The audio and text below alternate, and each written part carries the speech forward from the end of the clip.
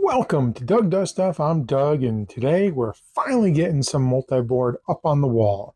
It's been a process. It's taken us some time to get here because I started printing on my Ender 3 Pro, then I got a V2 Neo, and I was going slow. It takes about 13 hours uh, per multi-board grid with that. A stack of four was taking three days.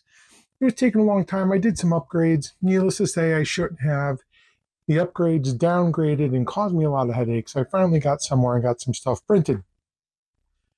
Um, wait, let's talk about one more thing, get it out of the way. Let's talk about multi-board. You know, I know in the comments people are going to say multi-board is a ripoff of Gridfinity. And listen, it might be, but you know, look at movies today. Movies today are just remakes, stolen storylines. Same thing with shows on TV. So you know what? If it is, it is you do you, I'll do me, and me is doing multi-board. So let's get into it. Let's talk about it. I have printed at least the start. I still think I need to print more of multi-board. So what is multi-board? It's a grid system uh, with a bunch of snaps in there. Um, it's got the pegboard holes. It's pretty flexible. You can put shelves on it. You can put pegs in it, hooks on it, all kinds of stuff. Um, the first thing we got to do is get it up on the wall. So there are three parts to the multi-board grid. There's the corner tile, then there is the side tile. Side tiles have three sides without the corners, these little things, um, and these fit into the adjacent one. And then there is a core tile, and a core tile has two sides of triangles and two sides without. All right, so that's that's what multi-board is. Um, on top of that, you need a mounting system, and that's all this orange is here. I think orange and white and gray are just going to look really good together, so that's why I'm doing it. Um, but anyway, so the mounting system, these are 8 millimeter standoffs, all right? You have quads, you have dual or double snaps, and you have single snaps. And there's two parts. There's an A part, which is the one that goes up on the wall, and then there's a B part that locks it in. Um, I only have the A parts because I'm going to lock it in after. So how do we put this together? Well, I'm going to put you on the tripod here and show you. All right, so now here you are on the tripod. All right, great. I got my hands free. Um, we're going to start with a corner tile. In a corner tile, you're going to need to start with a standoff. I printed these uh, 8 by 9 the reason I did that was after measuring out my wall where I want to put it, right there, I needed a nine at the end. And after a lot of like figuring and what am I going to do, you know, I just went ahead and I subscribed to uh, to be a supporter of multi-board, and that actually allowed me to change the size of the grid that I wanted. I didn't have to use one of the stock ones, um, which you can download for free, and all this you can do for free but things like custom sizes you can't and uh, custom cutouts you can't either. And this is going to be important for when we get to the light switch. All right, so let's get this mounted or at least show you how. So you're going to take your multi uh, grid and I'm going to look to make sure I'm using the side I want. You're going to take a single and we're going to start with our single down in the corner and it just snaps in there. All right. Um, you would, if you wanted to, you would put the locking, the B part on there, um, and you would snap that in and it would lock the board together. But we're, we're not there yet. All right, so this is the first part, and I'm just going to use one of these as a standoff. Um, I'm going to have this one multi one multi grid above above the table here. So that's going to go there. Now the next thing we're going to want is we're going to want to put on our um, light switch, right? And this can only go one way. I wish it was the other way, to be honest. All right, so how are we going to attach these? Well, we're going to use one of these double snaps. And let me back you up just a little bit here so you can see what's going on. There we go. The double snap, you snap into one side, and these have arrows up and down you snap into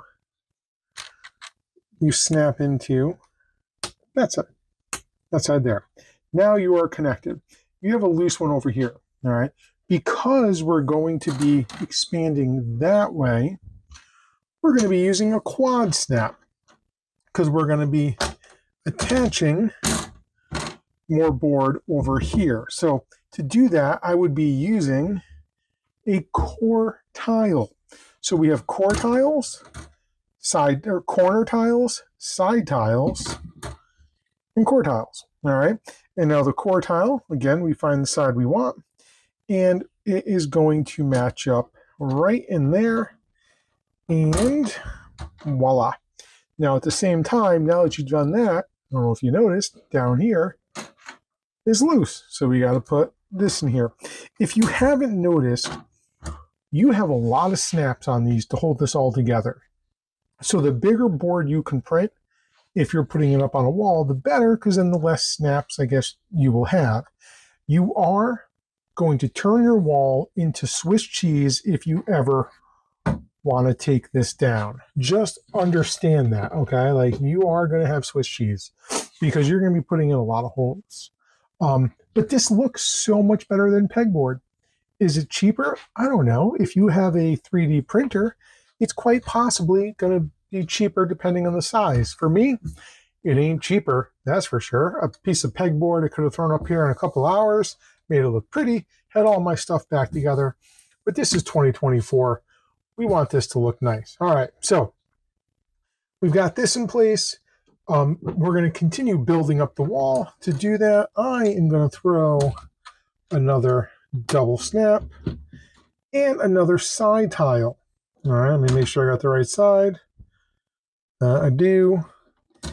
And put that together. And I just want to hold it in place, so I'm going to put another quad because I know I'm going to need it. The boom, the boom, the boom. Um, my printing tolerances they were pretty good. Um, some boards are better than other. I do have some stringing and, and stuff like that, but you know what? It's been a while, so we're at it. Now, I did figure out, let me pull you back even further here. Uh, is that, yeah, that's going to work. I did figure out that I'm going to need uh, a 9 by 8, one, one, two, three, four, five, four, five. And because I wanted to go right to the top, I printed a shorter one. And again, only if you're a supporter could you do that. So that's what it's going to look like with all of these cool standoffs hanging on it.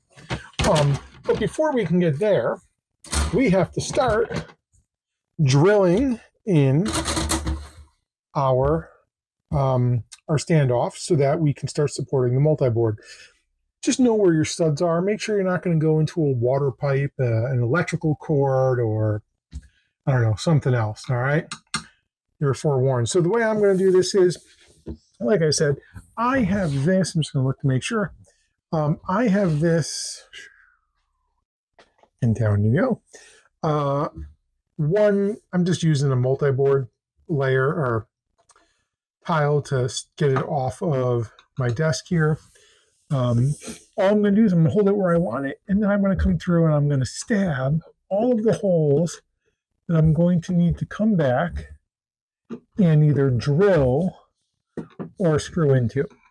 Um, I am going to try and make sure that this is level uh, as well. I have to grab my level from the other room. Um, now, this is going to be hard because, oh, look at that. It is level. Son of a gun. Great. Um, once I get the first couple level, everything else should be okay as long as I do it in order. So that's here. That's what we're going to be doing. As you can see, we've got tons of pieces and a lot of multi-board to go. I'm actually thinking I'm only going to make it halfway. But you know what? It's a start. And I'm I'm pretty excited because this looks pretty good already. Um, we are going to have to do some more printing around our plug over there, and we have to figure out, you know, our monitor as well. But thanks for sticking around. Thanks for watching this. Like and subscribe. Um, uh, I guess really this is part two of my multi-board journey because everything else was how to fix the darn Ender 3. uh, which continually just kicked me in the nuts. Hey, have a good one. I'm Doug, and I'm doing stuff.